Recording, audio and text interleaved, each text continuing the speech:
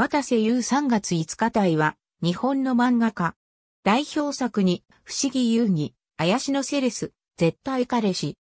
など、X ジェンダー。大阪府岸和田市出身。堺女子高等学校卒業。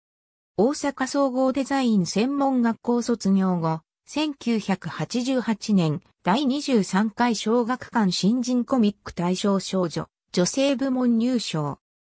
翌年、小学館少女コミックに掲載されたパジャマでお邪魔でデビュー。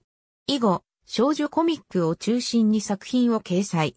代表作に、不思議遊戯、怪しのセレス、絶対彼氏、など、2006年以降、小学館の青年誌、ビッグコミックスピリッツや少年誌、週刊少年サンデーにも作品を掲載し、活躍の場を広げている。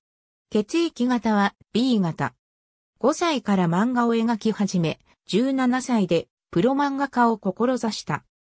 小学生から高校生くらいまでは自殺未遂を起こすほどのいじめを受けており、その体験は新田勘語り川信号の川がいじめられてるシーンでも流用された。宗教を信仰することで回復したという。